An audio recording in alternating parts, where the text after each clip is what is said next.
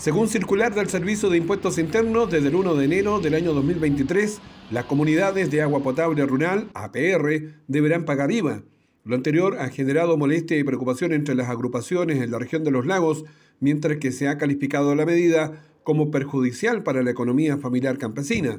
Nos parece que es una medida contradictoria. Sabemos que forma parte de una ley que obliga a varios servicios precisamente a pagar impuestos a contar del próximo año en la lógica de recaudación fiscal. No obstante, los APR son comunidades sociales, no empresas. Por lo tanto, nos parece una contradicción obligarlos al pago de IVA en medio de una coyuntura económica y además generar una suerte de criterio empresarial respecto a comunidades que son absolutamente sociales.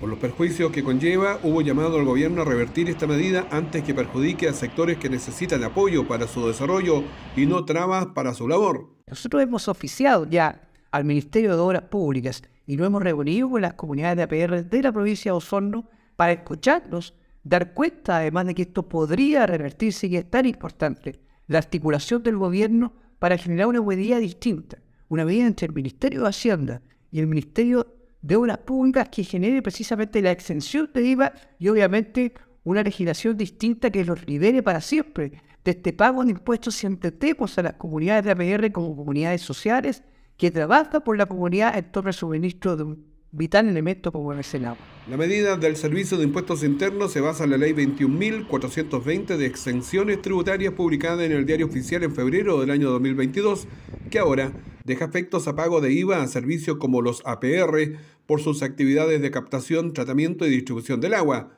El cobro se comunicó esta semana y sería efectivo el próximo mes.